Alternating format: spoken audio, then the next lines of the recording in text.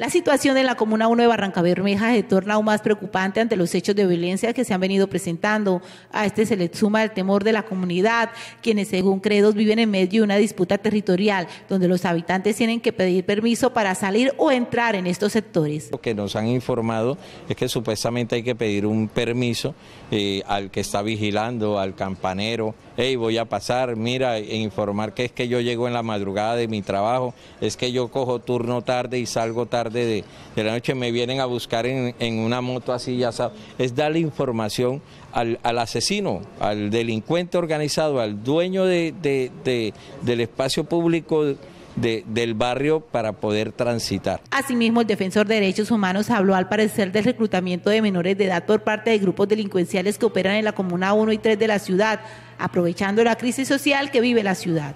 Hay un aumento de la población consumidora en la, en, la Comuna 3, en estos barrios, y ya salen dependiendo en el tiempo de, de, estas estructuras, los ponen a vender, los ponen de campanero. Igualmente la disputa territorial ha hecho que muchos quieran apoderarse de la zona por el negocio del microtráfico. Pero hay una disputa territorial con alias Tortugo y esto lo ha ido visibilizando. Ayer fue detenido en un operativo militar alrededor del mediodía y posteriormente fue liberado como tal y a las 4 de la tarde un atentado allí en el barrio Arenal donde uno de los eh, fallecidos fue eh, hermano, es hermano de alias Tortuga.